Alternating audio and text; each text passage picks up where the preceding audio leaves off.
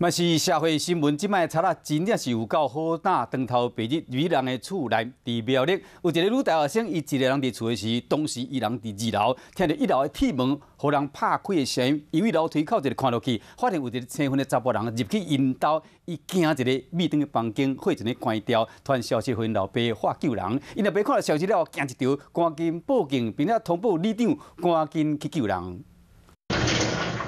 一楼客厅的大门顶，一只手伸出来，把窗门拍开。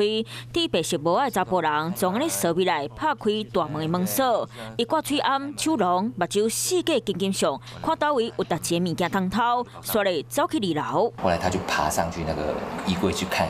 可能要看我妹妹房间有谁噶。二楼人是出租的查囝，因为打升大学一年啊，还未开学，一个人踮伫厝内，伊听到一楼铁门红拍开的声音，伫咧楼梯口探头出来看，看到青云人出现伫咧厝内，伊惊到面啊青顺顺，赶紧闭灯去房间，把门锁起来，嘛关电火。突然电主配甲爸爸讲，伊未来啊，伫咧我的房间外，我足惊救人哦。爸爸嘛惊死啊，赶紧报警通报里长帮忙。看到他不是说哭了，就一直发抖。警察先赶过来。上二楼要救出租的查囝，李长嘛来啊，手举雨伞，倒三杠敲一楼。李长拿着雨伞。因为我要防着。老米来厝内，千份人走去啊，李长嘛赶紧带出租的查囝落楼卡。啊，他非常紧张，恐慌。啊！再加上哭泣，嗯，那我在安慰他。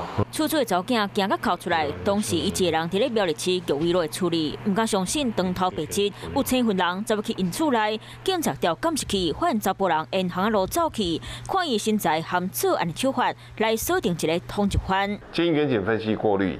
掌握一名谢姓通缉犯涉有重嫌。这个嫌犯真好打，拢要去人道处理。当时刚有一个查某大学生伫咧厝内，查某囡仔嘛惊到两下。加在伊秘伫咧房间内，无含嫌犯起床蹲，嘛赶紧甲爸爸喊救命。啊，警察已经掌握嫌犯的身份，会紧给抓起来。Hello，大家好，我是品轩。想要跟我一起品味生活中的大小事吗？一定要赶快打开华视的 YouTube 频道，按赞订阅，并且开启小铃铛哦。